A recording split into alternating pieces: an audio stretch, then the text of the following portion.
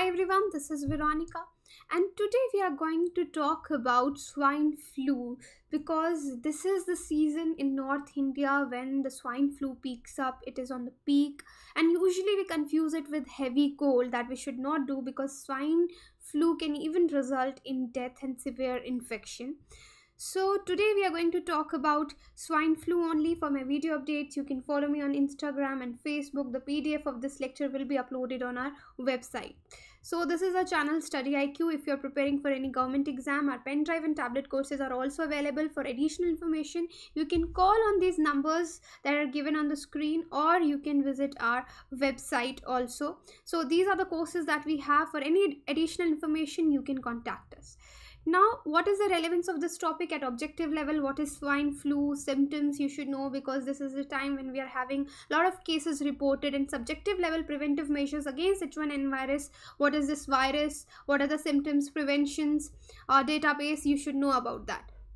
So now let's start why suddenly it is in news? Because uh, the death of the long ailing former union minister george fernandes after he contracted swine flu has triggered concern over infection of h1n1 virus. So the name swine flu has persisted even though virus has long bypassed the need for swine as an intermediate carrier. The reference to swine comes from 2009 as you know. Uh, here i've written that it comes from 2009 when the world saw particularly severe outbreak uh, that the World Health Organization labeled as pandemic. So the infection is simply called seasonal flu in medical parlance now, including the government of India's integrated disease surveillance program. The Centers of Disease Control Prevention that are known as CDC, the leading national public health institute of the US defines swine flu that it is basically a respiratory disease of pigs caused by type A influenza viruses that regularly cause outbreaks of influenza in pigs.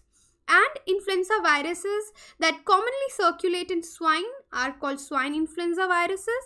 Like human influenza you might have heard about. There are different subtypes and strains of swine influenza viruses too so now here we'll discuss about certain data that according to this data compiled by NCDC that is National Center for Disease Control under the Ministry of Health and uh, Family Welfare there have been 4,571 cases of swine flu and 169 deaths already from the diseases across the country this year. So this year only till 27th January, so many cases have been reported and there are deaths reported too. So this is really serious. So India is witnessing a new rise in the number of cases and deaths due to swine flu. Gujarat is the worst affected followed by Rajasthan. Uh, so here I'll talk, to, uh, I would like to talk talk more about this data as of now there is higher rate of infection than the last several years. So last several years let uh, i'll talk about 2018 2017 2016 2015 okay? So in 2018 last year around 14992 cases were reported. And in 17 there were 38811 cases were reported. Uh, in 2016 there were uh, 1786 cases uh, that were reported quite lesser. And in 15 there were around 42000 592 cases were reported. And um, in these cases around 1100 deaths in this year to 2200 deaths in 17 and 265 deaths in 16 and in 15 there were around 2990 deaths. So this is the data to tell you the save uh, the serious nature of swine flu.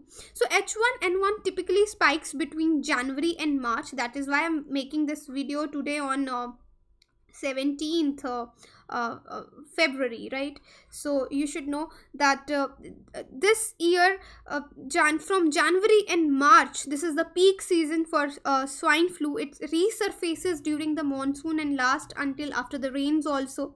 Uh, however, some cases are reported around the year, which is why the World Health Organization calls for people to get vaccinated against the flu so that is why this discussing this data is important for the awareness of people. Now you know about it you can tell people. We'll discuss the preventive measures also. So when now we talk about swine flu influenza that is siv or swine origin influenza virus it is a strain of influenza family only of viruses.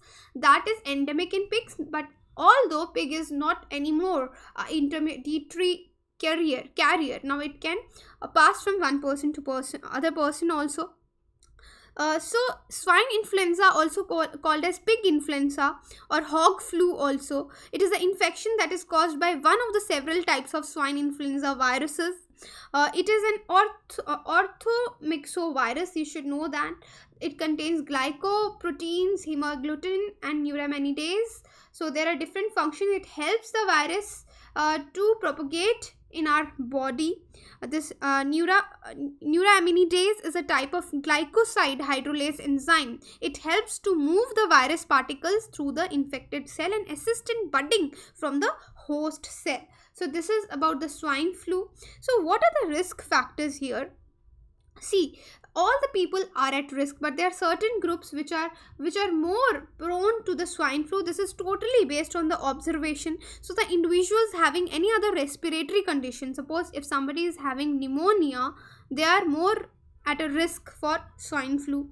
There are pregnant women is at higher risk. People suffering from chronic diseases like heart disease or diabetes they're at more risk. People more than 65 years of age and children younger than 2 years. So these risk groups have been identified based on observation and doesn't imply that you have swine flu if you have flu like symptoms and belong to any of these above risk groups. But one should seek necessary medical care if you have flu symptoms so now in this slide we will talk about that somewhere we feel that India has not learned any lessons from the 2015 H1 epidemic. Why I'm saying that because despite the first point if I take despite the high numbers there is no system in place to release data periodically and frequently. If we want to compare this with the regular updates provided by US Centers in Disease Control and Prevention especially during an epidemic.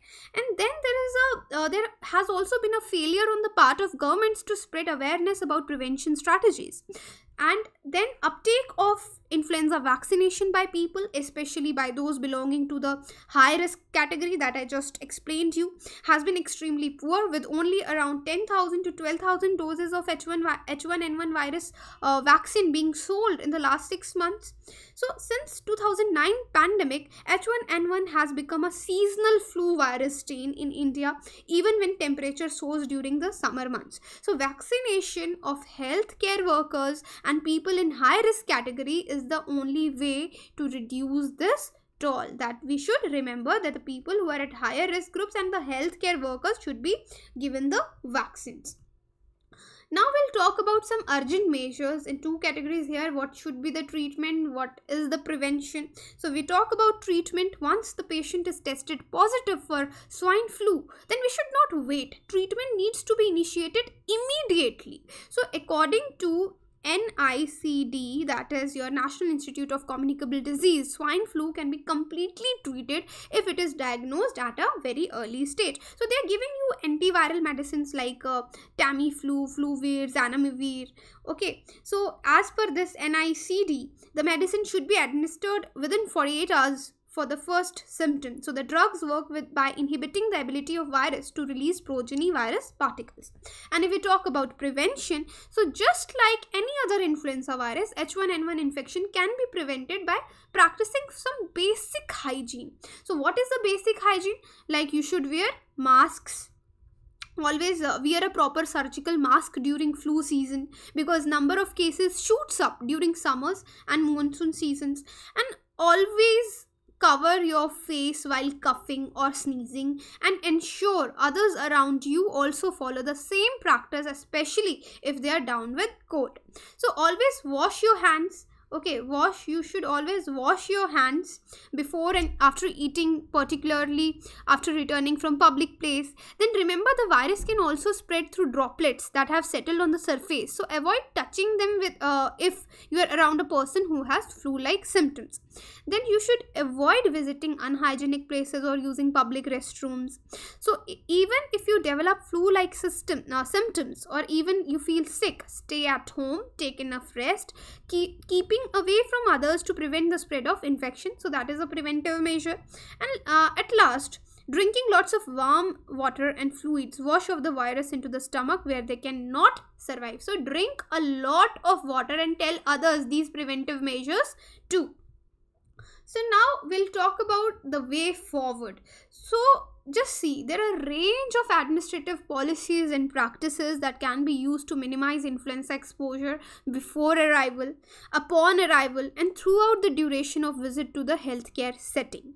But here uh, information that could be collected from different surveys and surveillances could be used but uh, what we need to do if we talk from the vaccine point of view so after mutation the newer strain emerges stronger than the earlier strain. So more research is needed to fully understand the uh, epidemiology of h1n1 caused by the michigan strain uh, or who may be more vulnerable. Also the composition of the swine flu vaccine will require changes as per who recommendation also and if I talk about database, the numbers in the official report do not reflect the true reality. This is because it is not mandatory for the private hospitals to disclose all the deaths and the people affected to the government's database. So there's a need for a system to record and release the actual number of cases for making appropriate response. So that is important. And prevention i've already talked uh, about that being a communicable disease swine flu can be uh, can best be prevented with awareness generation by governments. Okay.